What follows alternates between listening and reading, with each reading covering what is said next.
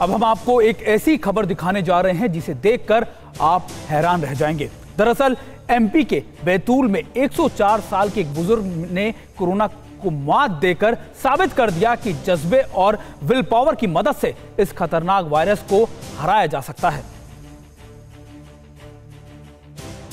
नाम बिरदी चंद कोठी, उम्र 104 साल। उम्र भले ही 100 साल पार कर गई हो, लेकिन उनमें हौसला और जज्बा किसी युवा से कम नहीं है। कोरोना के संकट काल में बिरदी चंद जी पर भी खतरनाक वायरस ने अटैक किया था, लेकिन ज़िंदगी जीने के जज्बे और बुलंद हौसलों ने खतरनाक वायरस को मात दे दी। एमपी के बैतूल के रहने वाले बिरदी चंद गोठी स्वतंत्रता संग्राम सेनानी है। कोरोना ने जब उन्हें अपनी गिरफ्त में लिया तो उनके घर वाले काफ़ी परेशान हो गए। डॉक्टरों की सलाह पर उनका इलाज घर पर हुआ।